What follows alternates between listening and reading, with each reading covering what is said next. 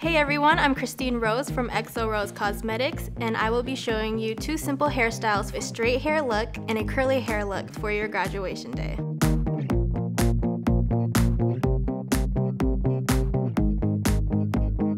You want to look your very best, so let's get started.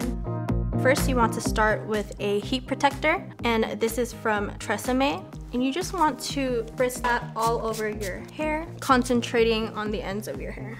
First, you want to split your hair to where your hair falls naturally. You want to section off your hair and clip it up there. Section this part one more time, clip it. So I'm going to start about an inch away from my head and just straighten it down. And then you just drop down the other half, comb it out, and just straighten again. This will definitely eliminate all of your flyaways.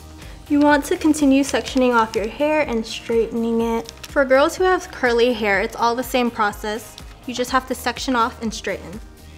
This usually takes about 30 minutes depending on how much hair you have. So that's it. This is my straight hair look for my graduation march. So now onto the curls. First, you want to turn on your curling iron to 300 degrees Fahrenheit. Take your heat protector and spritz it all over your hair, concentrating on the ends. Then you want to suction off your hair, just like the first time when we were straightening our hair. You want to take your curling iron, start an inch away from your scalp, and curl outwards, and then drag it down. While dragging it down, you want to pinch on the handle, and then curl back up. You want to hold it there for about five to eight seconds. And I like to curl it out because it's away from the face and when you curl it in, it just covers up your face.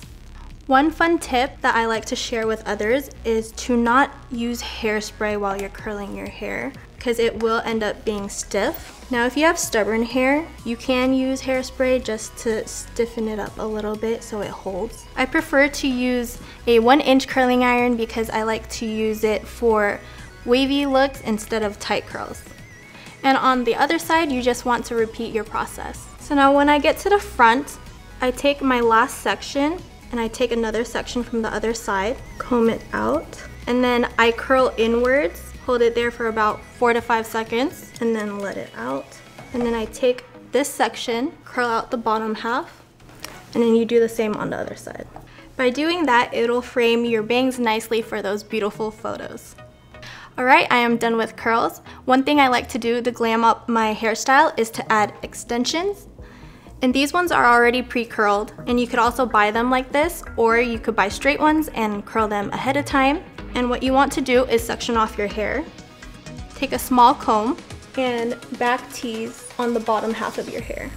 You want to back tease probably about three to four times, and this will hold in your clips for your extension. You want to take the center clip and clip that in the center of your head, and then you work your way outwards. And that is it. We added long hair and extra volume, and that is how you achieve your long curls. These are two simple styles you can try on your graduation day. Stay beautiful and have fun with your pictures.